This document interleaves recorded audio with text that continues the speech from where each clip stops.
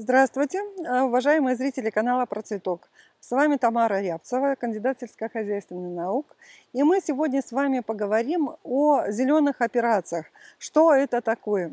Зеленые операции делаются на всех растениях, э, и кустарниковых, и плодовых, и орехоплодных культурах. Но особенно это актуально для. Э, орехоплодных культур и особенно для ореха грецкого. Вы знаете, что это очень теплолюбивая культура. И э, весной не получается резать в наших условиях орех, потому что он начинает очень сильно плакать даже в апреле месяце, в конце апреля, в начало мая. А до тех пор, пока полностью не распустятся первые листья, э, орех очень сильно плачет, как и виноградная лоза. Это те культуры, которые ну, и у косточковых культур, допустим, у косточковых культур, таких как черешня, вишня, абрикосы, э, алыча, э, сливы, э, вот у них тоже может быть такой камень течения у косточковых культур. Поэтому это те культуры, которые в основном режутся а, в июле месяце. В июле месяце активизируется, к концу июля активизируется комбиальный слой. И все нанесенные при обрезке раны очень быстро зарастают. Поэтому это очень э, такой один из лучших периодов для эм, проведения обрезки. Когда мы начинаем обрезку, мы всегда смотрим с вершины. А, мы можем начинать снизу резать, но мы вначале э, принимаем решение, как и что мы будем резать, именно с вершины. Мы смотрим, а, где что мы убираем, и если у нас есть конкурентные проводники, на какой из конкурентов мы переведем, на какой из конкурентов мы будем снижать крону. То есть мы выбираем хороший, нормально развитый побег и выбираем в основном чтобы ориентация его была на север, потому что это те побеги, которые медленнее всего растут и неохотнее всего растут. В кроне удаляются все те побеги, которые направлены внутрь кроны, которые идут на пересечение, если дублируются ветки, то есть они, если они параллельно налагаются, ну вот типа вот этой вот ветки, видите, вот она внизу, и практически параллельно ей такая же ветка вверху и еще одна веточка вверху. Но вот там э, вверху как раз вот э, самая верхняя ветка очень хорошо в этом смысле.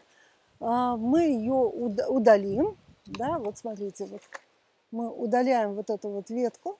То есть, смотрите, при проведении летней обрезки или так называемых зеленых операций, основные правила, значит, мы э, выводим э, центральный проводник, соблюдаем ярусность, да, то есть э, стройное веретено – это самая лучшая формировка для всех, она предполагает собой, ну, что такой хороший образ, чтобы у вас был во главе елочку, да, и каждый верхний ярус должен быть короче ниже лежащего яруса.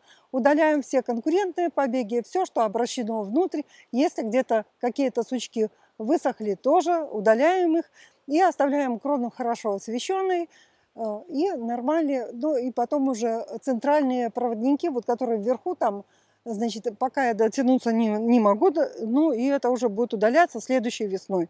Пока э, центральный проводник, э, пускай такой остается и вызревает, а конкурентные побеги мы укоротили и вырезали. Ну и вот в таком состоянии дерево может быть. То есть, чтобы вы понимали хорошо, что вообще нормально для плодовых деревьев груши, яблони, косточковых культур – четыре раза э, за сезон подходить к дереву. Э, и у яблони и груши можно вести, э, значит, зимой в период покоя обрезку, а вот у косточковых культур все-таки самым лучшим сезоном для обрезки является как раз ию, конец июля месяца, начало августа. Для обрезки грецкого ореха то же самое. Ну и сейчас мы еще подойдем к винограду и э, посмотрим, что делать с виноградом, потому что особенно когда э, очень много дождей, значит, идет усиленное пасынкование и э, лишние пасынки нужно удалять. Значит, ну вот смотрите, мы подошли к винограду и видите, что делается. В силу того, что очень много дождей, избыток влаги, пасынковых побегов очень много. И нам не нужно столько листьев и столько побегов, потому что это все забирает силы куста. Нам нужно направить на созревание вот этой сигнальной грозди. И поэтому вот такие длинные побеги мы вырезаем. Если маленький такой вот побежек, видите, вот он в пазухе листа, они без проблем вырываются вручную. Здесь вот тоже пасынковый побег ниже. Это все в пазухах листьев развивается. Вот не всегда хорошо все доступно. Но, ну, в общем, все лишние пасынковые побеги удаляются, потому что они дают затенение, а, требуют очень много сил на свое развитие. А гроздь, вот созревающая гроздочка, вот здесь вот можно ее показать. Вот видите, вот она красивая какая. Ну, вот это э, побег э, такой один из основных, но уж больно он длинный. Я его тоже укорочу, потому что ну, слишком большой и как-то некуда ему развиваться. Ну, таким образом, э, зеленая операция на винограде сводится к тому, что следует чеканить основные лозы, то есть укорачивать их длину, и удалять все пасынковые побеги. А, ну, таким образом нормировать количество побегов, потому что ну, считается, что даже на взрослом кусте не должно быть больше 16 лоз, и на, каждом, э, на каждой из лоз не должно быть больше 4 гроздей. То есть вот таким образом мы нормируем нагрузку на сам куст. Ну вот перед нами растение алычи э, дикой, ну обычная такая дикорастущая алыча, желтенькая, мелкоплодная. Она очень хороша в компотах, э, и ткемали соус такой можно из нее делать.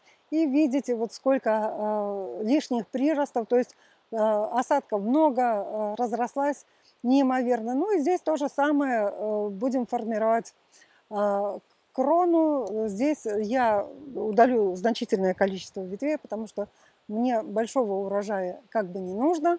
Она дает затенение голубики, поэтому здесь будем резать так посильнее.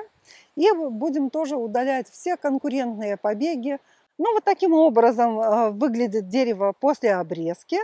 Э, я желаю вам, э, значит, рассмотрев это видео, повторить опыт, да, посмотреть, какой будет результат, ну и внедрять его в практику. Желаю вам успехов и высоких урожаев. С вами была Тамара you.